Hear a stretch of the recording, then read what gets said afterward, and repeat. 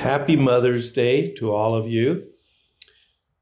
We're reading today from the book of Exodus, chapter 2, verses 1 through 10, and from the book of Proverbs, chapter 31, verses 25 through 30. Her children rise up and call her blessed, her husband also, and he praises her.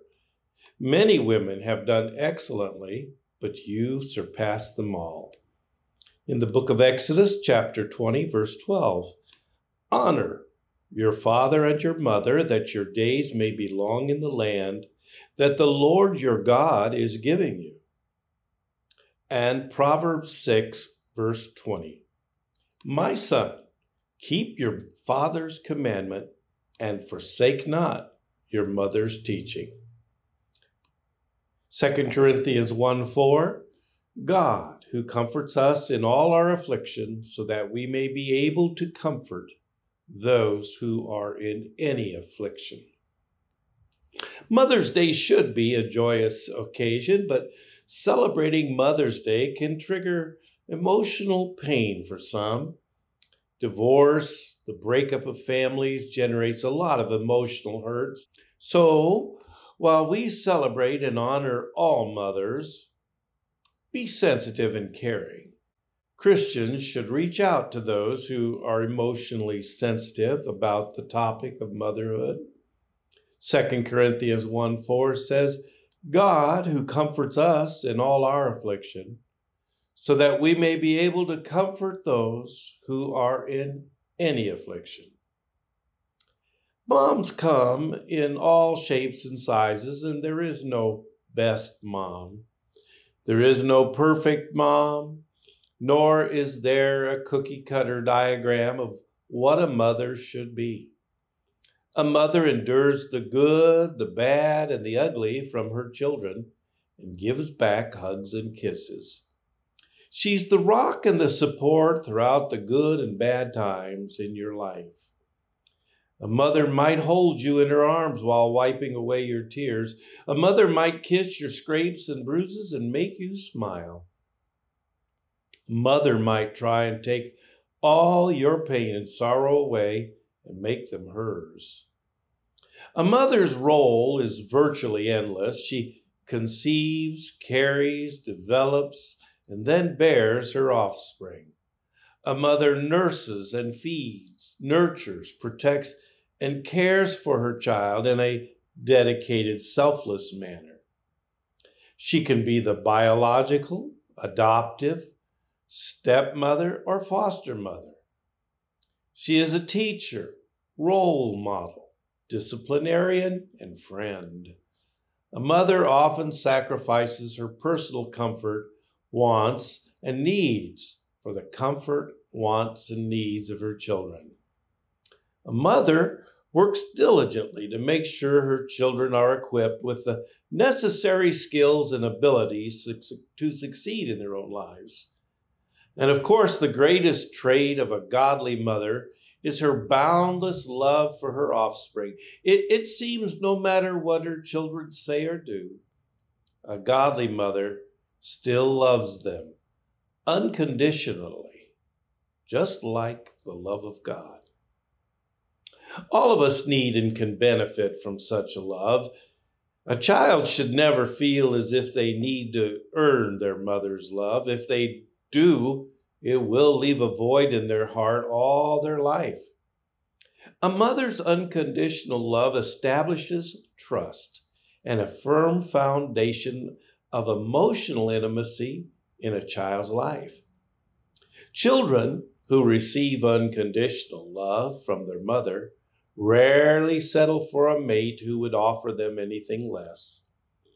The time and attention a mother gives to her children in playing games, reading books, telling stories, and listening, providing them with an emotional confidence and stability. If such love is withheld, a child will look for it in a million other ways. Sometimes they'll search throughout their lifetime trying to find some sort of peace with their past. The emotional foundation we give our children at home is foundational to their life. We cannot underestimate the value of the home and the power of a mother's love. One great Mother's Day story is about Moses' mother, Jochebed. It's found in the Old Testament book of Exodus, chapter 2. Jochebed was a daughter of Levi and the mother of Miriam, Aaron, and Moses. She was the wife of Amram, and not much further detail is given concerning her life, but according to Jewish legends, she is buried in the tomb of the matriarchs in Tiberias, Israel. She is honored and praised by Jews, Christians, and Muslims for her faith in God. The story of Jochebed is described in the book of Exodus. Jochebed, wife of Amram and mother of Moses, Aaron and Miriam, is mentioned by name only in Exodus 6:20 and Numbers 26:59. Both are genealogical listings. Her name in Hebrew is Yocheved, which means Yahweh is glory. It's notable, and she is notable, as the first person in the Bible to have a name with the divine element Yah, a shortened form of Yahweh. Jochebed lived in Egypt, where the descendants of Israel were being oppressed. The Pharaoh had decreed that all Hebrew baby boys were to be thrown into the Nile because he feared that they might become too powerful. When Moses, her youngest child, was born, Jochebed hid him for three months, going against the decree of Pharaoh to kill all the Hebrew baby boys. Finally, to save her son's life, Jochebed waterproofed a basket, put the child in it. She must have known something about the bathing habits of Pharaoh's daughter or other likely Egyptians who might take compassion on a baby in a basket. Still, to put her son into the water took a lot of faith. God wonderfully rewarded her faith when the basket was noticed by Pharaoh's daughter, who was bathing in the river. And moved with compassion when she discovered the child, she decided to adopt him. Then, even better, the princess listened to Miriam's suggestion to find her a Hebrew woman to nurse the child. So Miriam called her mother, Jochebed, who was appointed to take care of him.